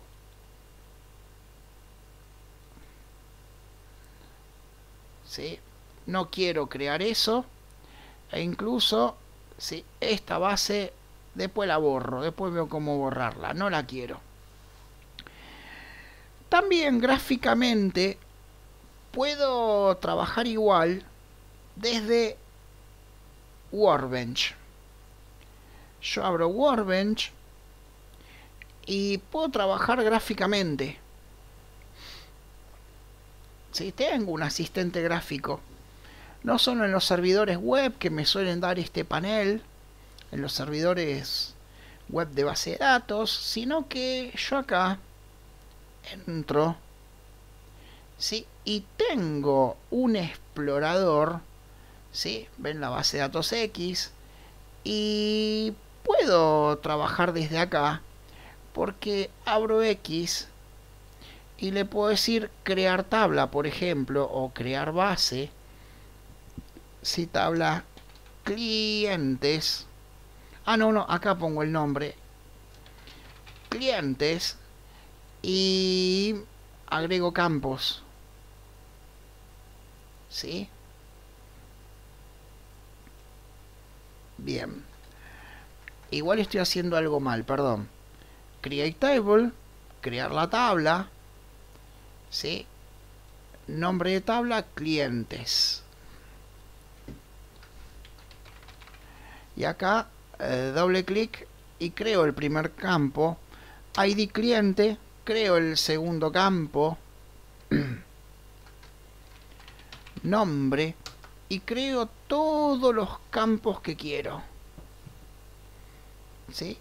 Y puedo fácilmente trabajar en forma gráfica no voy a hacer nada de esto no voy a hacer nada de esto igual quiero borrar la drop database x y la borré no la quiero ¿Sí? uno puede crear la base de datos gráficamente como si fuera access pero sin embargo ¿sí? Yo la voy a escribir por código, voy a escribir el DDL, el Definition Data Language, ¿sí? DDL, el dulce de leche, ¿no? Definition Data Language. El lenguaje de definición de datos. El lenguaje que crea la base. Lo voy a escribir todo. ¿Y por qué si es más difícil?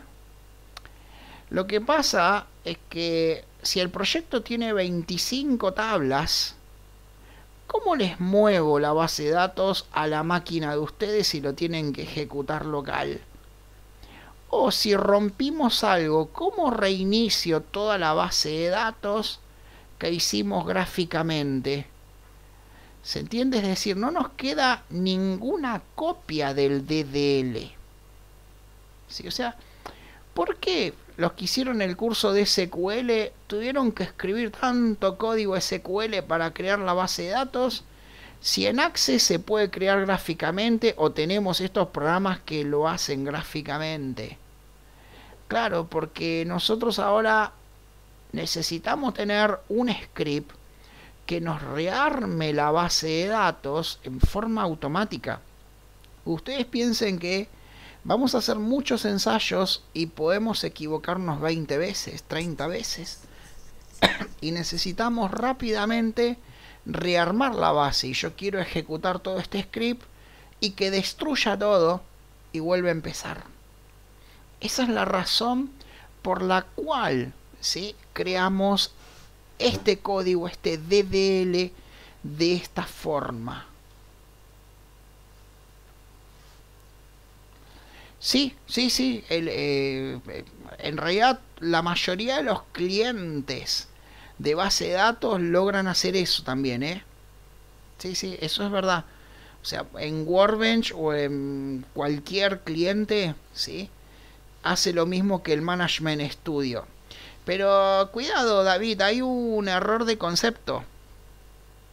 No es que SQL te lo genera.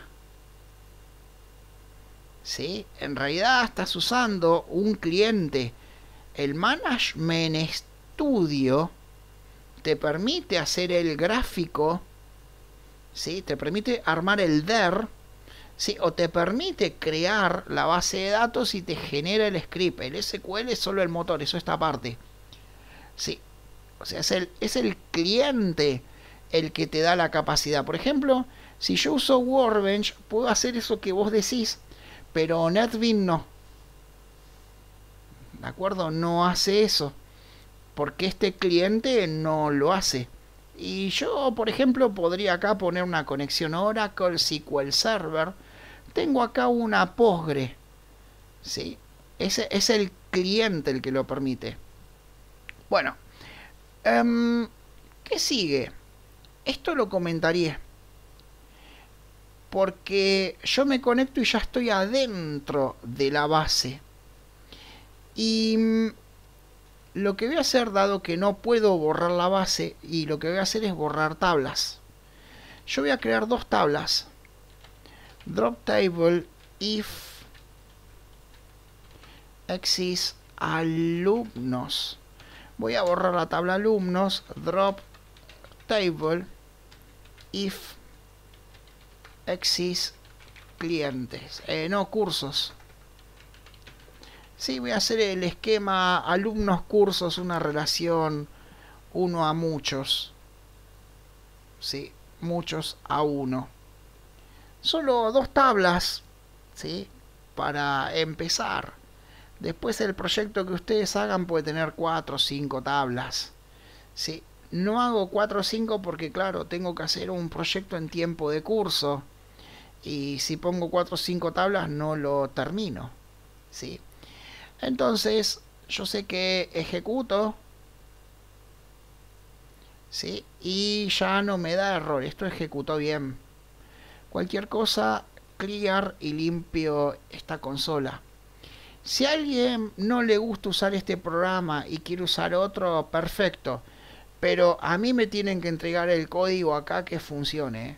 O sea, el código tiene que estar, el código de la base tiene que estar adentro del proyecto con el DER, ¿sí? el diagrama entidad-relación ¿sí? de la base. y mm, voy a empezar Create Table cursos por un tema de claves foráneas. Primero borré alumnos y después cursos porque los cursos, el curso contiene a los alumnos, ¿sí? Pero creo primero cursos y después alumnos, ¿sí? Hago al revés. ID int auto increment, ¿sí? Auto increment por las dudas porque a lo mejor alguien si no usó nunca MySQL, si autoincrement es autoincrementable. Eh, en Postgres se lo conoce como serial, en SQL Server se lo conoce como identity. ¿sí? Yo estoy haciendo que este campo sea autoincrementable, que no tenga que yo ingresar el valor, sino que el ID se vaya cargando automáticamente. Primary key. Clave primaria. ¿Sí? Um, sí, primary key.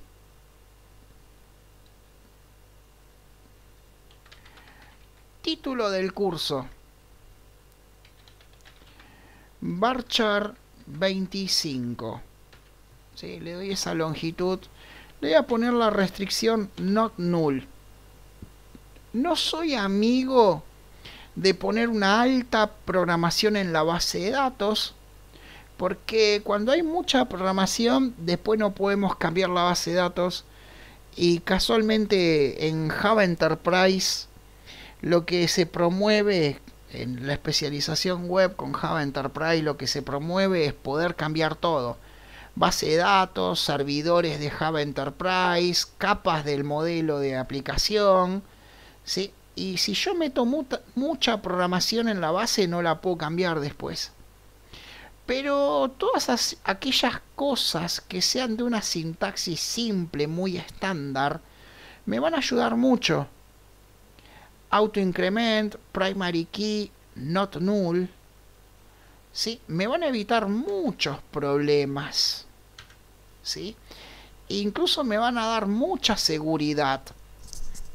Porque si el campo es nulo, si no se envía, la base de datos ya devuelve una excepción a la aplicación. Devuelve una exception. Y nos evita ¿sí? el tener que estar validando. Nos resuelve muchos problemas de validación. Me evito el tener que escribir un if para preguntar el estado de un campo. No, yo mando el registro con errores y si la base me devuelve una excepción, la contengo. Sí, primary key es este campo.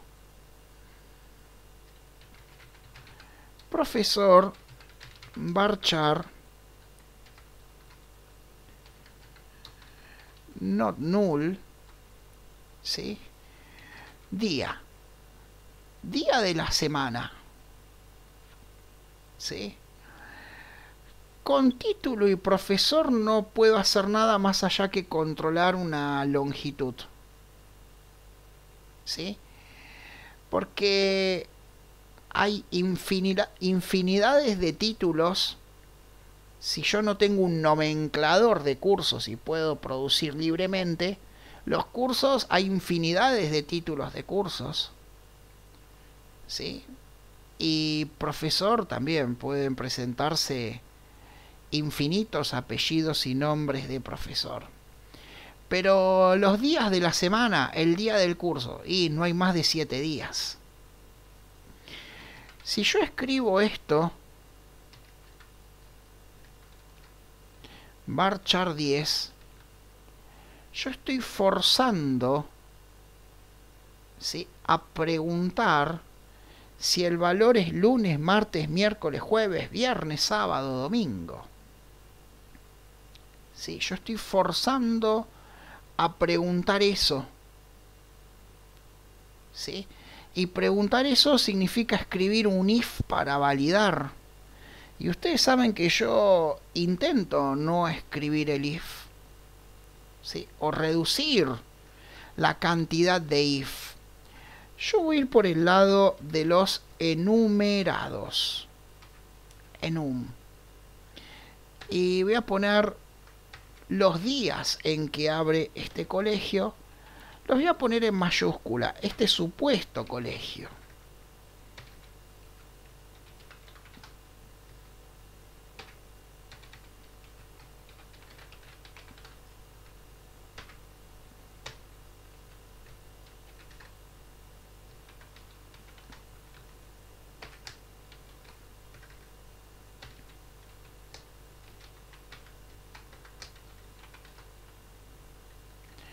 Este supuesto colegio que estamos creándole el software abre estos días. Un campo enum, enumerado, es un campo autovalidado. Después le creamos un enumerado en Java, que creo que no expliqué enumerados, pero bueno, cuando lo usemos lo explico. Sí, es verdad, se me saltó, se me escapó explicarlo, Rosario, es verdad. Pero bueno, cuando lo tengamos que hacer lo explico. No importa. Pero, ¿qué es lo bueno? Sí. Un campo enumerado solo permite estos valores.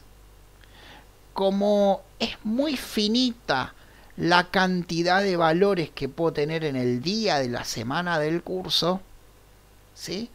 No son más de 7.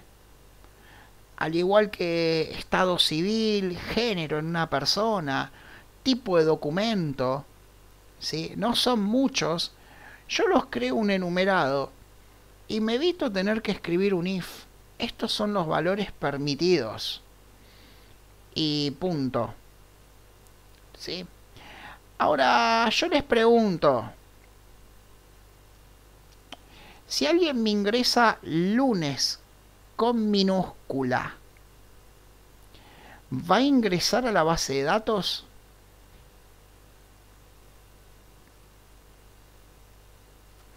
Si alguien me ingresa lunes con minúscula, ¿va a ingresar? Facundo dice que no, David se juega que no, Lucas se juega que sí.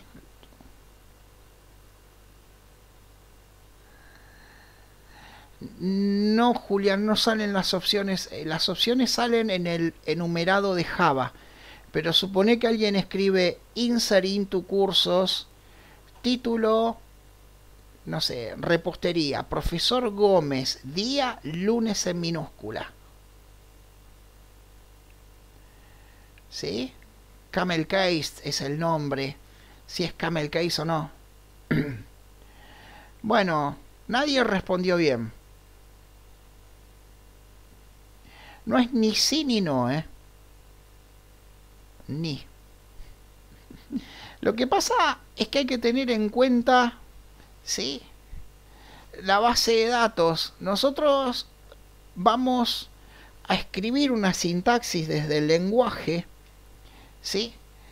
El lenguaje, ¿sí?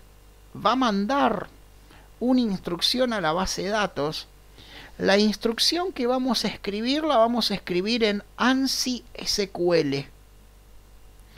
ANSI SQL es un lenguaje estándar que cumplen todas las bases de datos.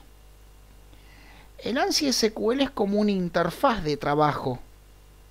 Porque yo escribo ANSI SQL y lo va a escuchar SQL Server, lo va a escuchar Postgre, Oracle.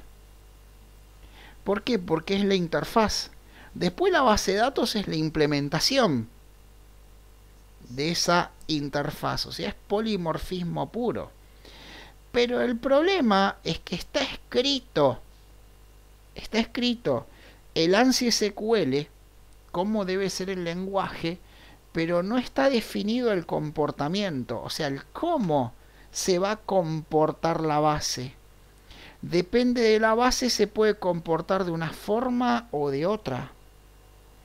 Si yo pongo lunes en minúscula y se espera en mayúscula, Curiosamente a SQL Server, SQL Server de Microsoft le va a dar lo mismo. ¿sí? No es case sensitive, lo puedo llamar en minúscula o en mayúscula y es lo mismo. Oracle y Postgre son case sensitive. Eso quiere decir que si yo lo envío lunes en minúscula a Oracle o a no lo va a tomar. ¿Sí? Ahora, lo más curioso es lo que ocurre con MySQL o MariaDB. Eso es muy curioso, ¿sí? Y acá van a venir muchos problemas con esto. Si ustedes instalan MySQL sobre Windows o MariaDB sobre Windows, curiosamente no es case sensitive. Ustedes pueden escribir lunes en minúscula, lunes en mayúscula y le da lo mismo. Y pueden llamar a la tabla cursos en minúscula o en mayúscula que le da lo mismo. Lunes también, Rosario, como lo pusiste también. Y le da lo mismo. Pero si instalamos MySQL o MariaDB sobre Linux o sobre Mac, es case sensitive es sensibles a la minúscula y a la mayúscula. ¿Sí? Cuidado, o sea, si lo instalan sobre Windows no es case sensitive. Si lo instalan sobre Linux o Mac es case sensitive. ¿Qué es lo que pasa? Y, vamos a tratar de estandarizar. ¿Sí? Eh, David, ¿puedes usar un, upper? Sí, pero vamos a tratar de estandarizar. ¿Qué es lo que pasa? Vamos a suponer que acá cursos está en minúscula, lunes está en mayúscula. Vamos a seguir un patrón de trabajo. ¿Qué suele ocurrir? Y esto pasa en PHP, en muchas cosas, ¿eh? y les va a pasar a usted en el proyecto. Hacen todos en sus casas y lo prueban con la base de datos de su casa. Y capaz que acá pusieron C mayúscula y acá pusieron lunes en minúscula. ¿Sí? Programando en Java o en PHP. Y la cosa funcionó. ¿Sí? Y funcionó. Pero resulta que armaron una aplicación PHP MySQL y en la casa funciona, pero cuando lo van a subir al servidor. El problema es que el servidor es Linux. ¿Sí? Acá, el, el, servidor del web hosting es Linux. Acá, puede ser que en sus casas con Windows pongan todo mal y funcione. Sí, puede ser que funcione. Pero, si nos pasamos al servidor online, el servidor es Linux y no va a funcionar. ¿De acuerdo? Entonces hay que tener cuidado con esas cosas. Sí, Rosario, los enum en Java van en mayúscula. Cuidado que te puedes encontrar que en la base lo definen en minúscula, pero en Java los ponemos en mayúscula. Lo ponemos porque ese es el patrón de trabajo. Ese es el patrón de trabajo, ¿sí? Y lo que vamos a hacer es cuando lo enviamos a la base, si en la base está en minúscula, lo convertimos a minúscula. Sí, pero hay que tener cuidado con esas cosas porque van a traer problemas. No saben cuántas veces, ¿sí? Los alumnos en años pasados hacían el trabajo en la casa. Ya está, profe, lo terminé. Y cuando yo lo voy a correr, no ejecuta. ¿Por qué? Porque pusieron minúscula, mayúscula, claro, yo acá o en el aula del colegio, sí, en el aula que yo doy clases en el colegio usamos Linux. Y ahí aparecen los dolores de cabeza. Sí, así que va a haber que tener cuidado con esas cosas, ¿sí? Yo les recomiendo usar un servidor remoto ¿sí? aunque tengan Windows en sus casas, usar un servidor remoto porque se van a ahorrar el instalar la base de datos y porque es un servidor Linux que si bien es más lento porque es remoto, pero les, a, les va a garantizar no tener problemas con las mayúsculas y con las minúsculas. ¿Sí? Eso es lo que ocurre. ¿Es claro? ¿Se entiende? Me fui de tema, es momento de recreo. Chicos, 9 y 20 vuelvo. ¿De acuerdo? 9 y 20 vuelvo. Nos vemos. Bueno, Julián, nos vemos la próxima.